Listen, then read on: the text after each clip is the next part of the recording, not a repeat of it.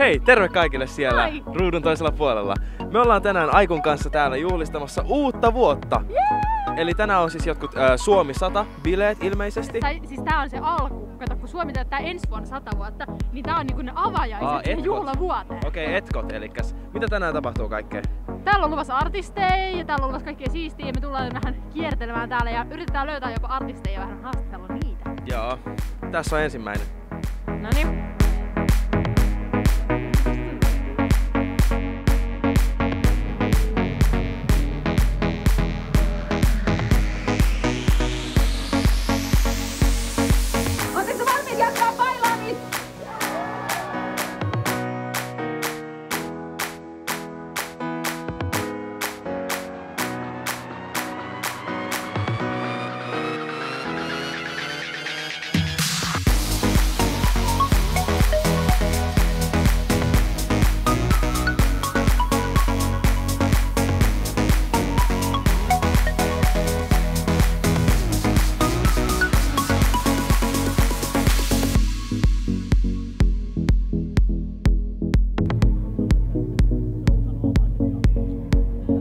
No niin, me ollaan nyt täällä siis seuraamassa tällaista konserttia. Tänne on rakennettu tuolle hullu... Alkavassa kohta. Niin.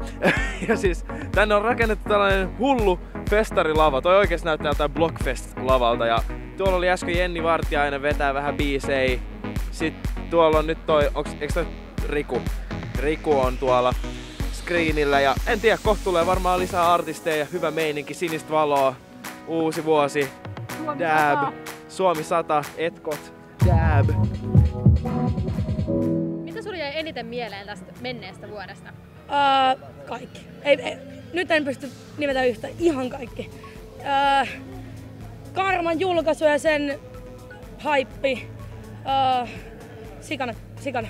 Mulla jäi parhaiten mieleen se, että tässä maassa, kun on paljon kiertänyt Suomea keikoilla, niin ihmiset on ihania, ne ottaa ihanasti lämpimästi vastaan. Ja sellainen kunnioitus ihmisiä kohtaan mun mielestä on maakunnissa ja kaupungeissa. Et mä rakastan tätä kansaa, mä rakastan tehdä tälle kansalle musaa ja tällä äidinkielellä, mikä meillä on, niin se on niinku juhlaa.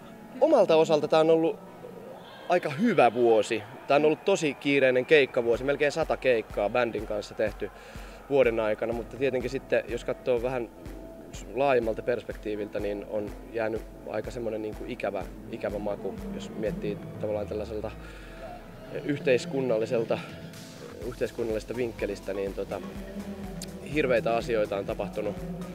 Toivotaan, toivon sydäme, sydämestäni, että vuodesta 2017 tulee valoisan vuosi. vihapuhe huonoissa asioissa, mm, joukkorahoituskampanjat hyvissä asioissa. Wow, nyt sä kysyt niin aivan liian vaikeaa. En, ei mulla ollut kuin vuosi aikaa valmistautua tähän kysymykseen. Tota, kyllä mun täytyy sanoa, että mun henkilökohtaisia kohokohtia oli nimenomaan tämä äskeinen meidän esiintyminen. Et me tehtiin nopealla aikataululla kokonaan niin kuin custom biisi tätä Suomi 100 juhlavuoden alkubileitä varten. Ja äsken vedettiin se ensimmäistä kertaa lavalla ja nyt on sellaiset adrenaliinit fiilikset, että ai että ja endorfiineja ja kaikkea virtaa mun päässä. Aivan loistava fiilis. Se oli, se oli mahtavan hyvä. Joo, kiitoksia paljon. Ne junnut voitti silloin se jääkiekko maailmanmestaruus, vaikka se ollut se? Joo. Niin se oli siisti, kun jengi juhlia. Sitten silloin kun Suomi voitti sen miesten, se oli ihan hullu. Skinheadit halas mua tuolla kadulla.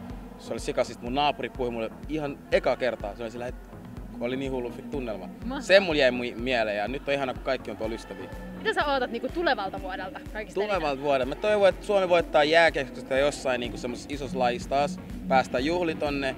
Ja musta on ihana esim. Alma. On tuolla maailma, kaikki on sillä, she's from Finland, yeah, yeah. Mä oon sillä, joo, me. Se on yksi meistä ja että niinku kansainvälisesti että uskotaan, että Suomessakin pystyy tehdä asioista isomman. Lisää keikkoja, ihmisiä, uusia tapahtumia. Kaiken näköistä siistiä. Että mä pysyisin jotenkin hyvässä kunnossa, että mä jaksan kiertää ja viedä tätä jotenkin tällaista niin kuin, ää, laulun tekijän niin kuin, työtä eteenpäin ja, ja sitä kieltä ja miten mä saan ihmiset tuntemaan tietyllä tavalla sen laulun kautta, mm. edä omaa elämää ja he pohtii omaa itseänsä, niin että ne jotenkin saisi taas vähän arkeen sellaista Puhtia. Va- puhtia joo. Mä tiedän, että kevät tulee olemaan kiireinen, mutta me pidetään ensimmäistä kertaa kesäloma ää, bändin kanssa. Me ei tehdä ollenkaan keikkoja ja mä en edes muista, koska mulla olisi viimeksi ollut kesäloma. Sitä mä odotan. Mä odotan, että pääsee mökille ja saunaan ja ehkä Sodankylän filmifestareille ja joillekin muillekin festareille yleisön joukkoon. No siis kaikkea hienoja asioita. Tämä vuosi oli tosi tuottelias vuosi meikälle ja ensi vuonna tulee vielä enemmän kaikkea makeita. Mä oon kirjoittanut libreton kansallisoopperalla ja kaikkea ihan mahtavaa siis setti. Toivon mukaan tehdään myös kollaboi kaikkien näiden tyyppien kanssa, tässä on lisää. Hmm. Joo, me vähän tässä ollaan jo puhuttu, että, että tehtäisiin lisää niin kuin yhteisiä biisejä. Joo. Ja niin kuin, niin kuin sanoin, niin kukin kenenkin kanssa ja tälleen. Ja, ää, mä tietysti menen studiolle hieromaan lisää rähinä matskua ja toivottavasti saa myös omaa iso matskua ulos yeah. ensi vuoden puolelle. Mä oon ainakin luvannut niin kuin aika, monelle, aika monelle ihmiselle, mukaan lukien Jeba, me luotiin tässä, lyötiin kättä päälle, että, että kummatkin tulee ensi vuonna niin kuin omaa solomatskua, niin sitä vedään kyllä oikein paljon.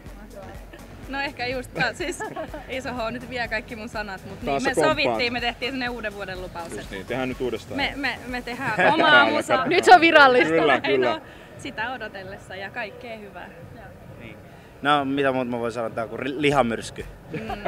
niin, ei, mutta kaikkea, yeah. to, tiedätkö, mä vaan toivon, että mä teen hyviä asioita ja Herra on mukana. Onko sulla jotain, mitä sä haluat sanoa Suomen Ää, nuorille? Mä oon sanonut Suomen nuorille, uskokaa teidän juttu, ajatelkaa laajasti, voitte tehdä sen, koska mäkin pystyn. Tiiäks. Mä oon sanonut, että ikis, susta iki tuu mitään, täällä mä oon. Nuoret on älykkäitä, niillä on hyvä asenne elämää kohtaan. Mä rakastan mm. sitä, sitä sellaista niin kuin, maailmankatsomusta, mikä teillä on tietyllä tavalla, mikä mun nuoruudessa ei ehkä ollut niin puhdasta. Uskokaa itseenne, jaksakaa yrittää, ei ole mikään kiire. Öö, uskokaa itselleen. Ehkä se eniten, että ei ole mikään kiire mihinkään. Tiedätkö, niin kuin, vaikka ei tietäisi, mitä, on, mitä haluaa olla 18-vuotiaana, niin se on ihan fine. Mm. Et, niin kuin, musta tuntuu, että paljon nuoret kamppailee sen asian kanssa, että apua, että mä en tiedä yhtään mitä mä teen. Mä oon 18, nyt mun pitäisi päättää mihin kouluun mä menen. Se on ihan fine, käy vaikka kolme eri koulua läpi ja kyllä se löytyy sieltä. Mä haluan sanoa, että kouluttautukaa, olkaa rohkeita ja rakentakaa Suomea yhdessä te olette Suomen toivo.